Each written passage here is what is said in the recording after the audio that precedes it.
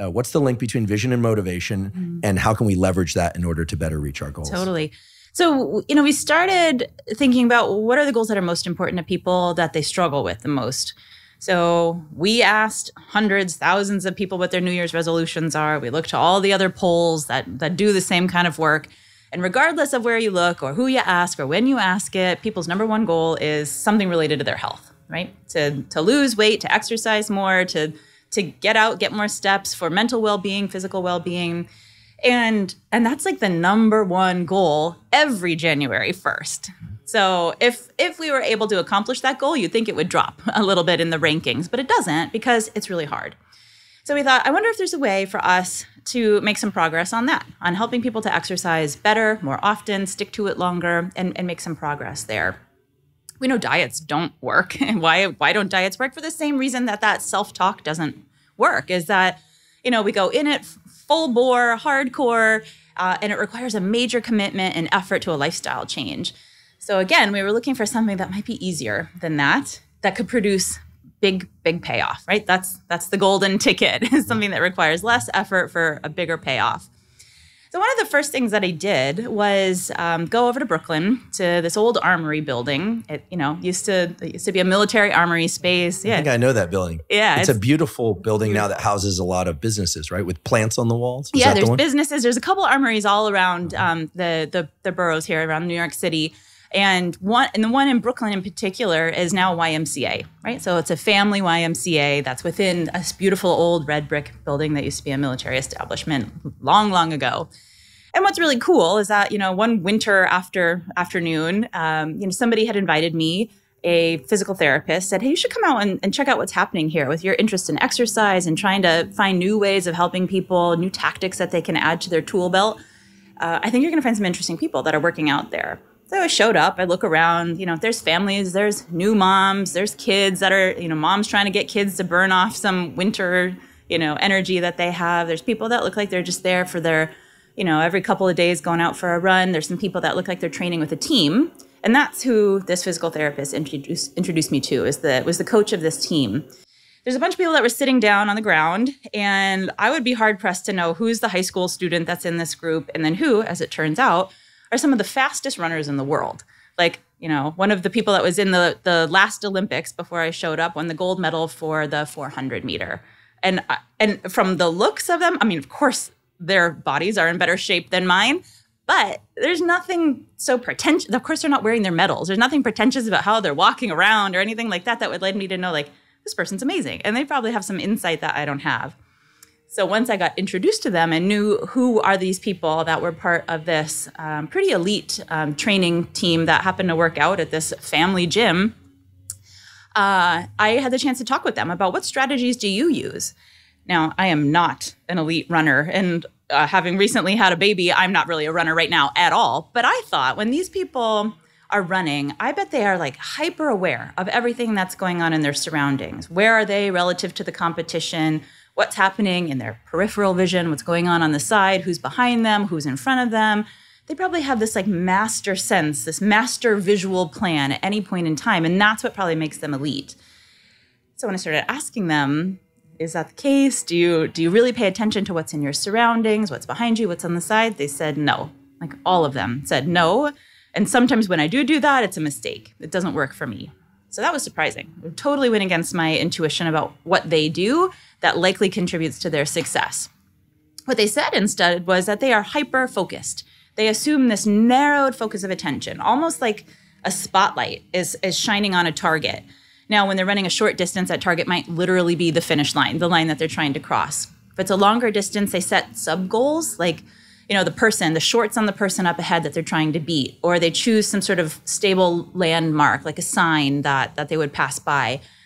And like a spotlight is shining just on that or like they have blinders on the sides of their face that's all they're paying attention to. It's really narrowed scope of attention. And that was a strategy that they that all of these elite athletes said that they used and those that were better rather than um, you know the, than slower were ones that used it more. And i thought oh that's something we can play with right? Like they are elite and they are accomplished, but that visual strategy isn't necessarily something that you have to be in the perfect physical condition to be able to adopt. And so I wonder can that help the rest of us who aren't competing for an Olympic gold and who have no chance of ever getting one, but who want to exercise better, have a better have a better time doing it, and maintain a commitment to that exercise goal that they might have that they might otherwise, you know, by February or March be giving up on if they had set it at the beginning of, of January. So that's really where the work started was, you know, what you might call like focus groups or case studies of these incredible athletes. And um, and then we did other studies looking at you know you know people who aren't Olympic athletes but who are competitive uh, New York road runners runners and how are they running in races? And what we found is that those people who have better pace faster pace better time um, they use that narrowed strategy more often than this more expansive or you know open scope of attention and there seemed to be a correlation between that better performance among a wider swath of hundreds of, of runners who are doing it competitively, but still, you know, could be like the person that you're sitting next to in the office or yourself, right? And the more often that they did it, the and the more um, consistently they had adopted that that technique of the narrowed focus of attention, it seemed that they were doing better in their runs. So then we started thinking like, okay, what about people who who aren't competitive runners? What about like my mom? can she, can can she do that? Or me when I'm trying to get back on the bandwagon and exercise more? Is this a tactic we can teach people? The answer is yes. You can tell people about what these Olympic athletes are doing. You can tell them about what the New York Road Runners runners are doing. And just using the same language that I just used with you, right? Imagine that there's a spotlight shining just on a target. Choose choose something up ahead, the stop sign two blocks up that you can you can just see. And you know, imagine that you you have blinders on so that you're not really paying attention to the people that are passing by or the buildings or the garbage cans or the or the trucks that are on the road you know, tune those out and focus in on that target until you hit it and then choose another one, right? Sort of recalibrate, choose the next goal. And so we would test like, can people do that? I mean, if you're listening right now, you probably are imagining that experience too. And the answer is yes. Like, I can imagine that. I know what those words mean and I can do that. And our work found that too. People can do that. We have them say out loud, what is it that's captured your attention? And of course, sometimes something in the periphery, like movement, captures our gaze and, and we're are pulled there for, for an instant, but then we can refocus up again and adopt that narrowed attention.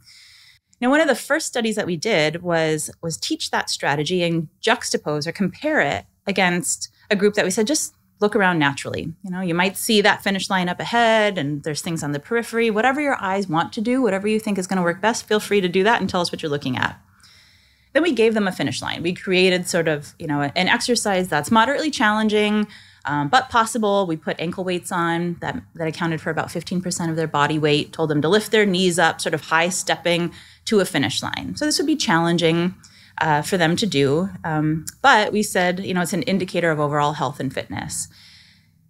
Some of these people had narrowed their focus of attention, and some were just looking more expansively or naturally and what we found is that those people that we trained, just everyday normal people doing this, this moderately challenging exercise, they were able to move 27% faster. They could do the exercise more quickly, and they said it hurt 17% less. The exercise was exactly the same for all the people. We set we set the weight, and we set the distance. It was in you know our lab space, so it was a con- constrained environment. Everybody was in the same sort of circumstance, but yet their experience was really different. We helped them to move faster, burn calories at a higher rate, right? Exercise more efficiently. The amount of time they put in is going to produce a better uh, physical outcome. And it also, it didn't hurt them, right? They're saying it doesn't hurt as much. So we were really excited about that, right? Because it meant that this strategy, we could use it on people who are not elite athletes. It could be easily adopted. A quick training session right, can teach people to look at the world in a different way again, this narrowed attention was different than whatever they do naturally, the comparison group. Um, but it had a big outcome. It had a big difference on the way that they were engaged in the exercise. That was like some of the first work that we did. And then since then, we've done, you know, know, dozens more studies to look at, well, what happens with that and, and, and what else can we do with playing around with this? Yeah, those are impressive differences. Uh, as a consequence of narrowing visual attention. A couple questions about the actual practice of narrowing attention. Is there any indication of whether or not subjects um, are constantly updating uh, their visual attention? So, for instance, if uh, let's say the goal line is uh, in view, literally from the beginning, I could imagine just holding visual attention on the on the goal line. But um, if it's a oval track or it's a trajectory along a trail or through a city. How often do you think they are updating their um, their visual aperture and setting a visual goal? And I could imagine that there's some energetic expense to that, so that um, meaning how you know you wouldn't want to do every crack on the sidewalk unless those cracks on the sidewalk were mm-hmm. very far apart, right? Because I think at some point that itself would be exhausting. Mm-hmm. Um, so, is there uh, an optimal strategy or a semi-optimal strategy? Yeah. So you know those olympic athletes that we that we started by interviewing they tended to be sprinters. They were more often sprinters short distance sprinters. So when they said like yes i narrow in more than i assume an expansive focus that's because they're not going that far right? They have to do it as fast as humanly possible but they're not going that far. And so we started asking that question too about like well wouldn't that be tiring? And the answer is yes. So when we start to look at well people who aren't sprinters who are accomplished but who are more long distance runners, that's what we find that they do is that they, um, you know, they're using that narrowed attention strategy strategically, and it increases in use. They use it more often as the race progresses, and they really start to do this, you know, major switch. Um, about the halfway point of say like a 10 kilometer run so people who are seasoned runners they really start making a switch with what they're looking at about halfway through um, and that's where they more often, more frequently, and are more intentionally adopting a narrowed focus of attention when they're in the last couple miles of a run, when maybe their resources are starting to get more thin, maybe their motivation is starting to fade. That tipping point in the middle is with any kind of goal where people struggle the most. Uh, and that's when they're like doubling down on a strategy that they know to be effective. So, you know, at first, longer distance runners are, are not using that narrowed strategy. They're, they're looking more expansively um, because I think that that, well, first of all, distraction is a thing. It's useful. Not necessarily that they're distracting themselves because people are still trying to hold pace and jostle among probably a more concentrated group of runners. Um, but it is a strategy that they use and then sort of wean off of um, as the race goes through. And it's particularly effective when we're looking for that last push, right? The last push to get over the finish line when like you might be literally neck and neck with somebody that you're you're trying to to just beat out. Or when you're most tired, but you know like that last push, you don't want to you don't want to drop off. Um, and you know you want to you want to push through hard through that finish line. That's when people are using it at, at its peak level of intensity.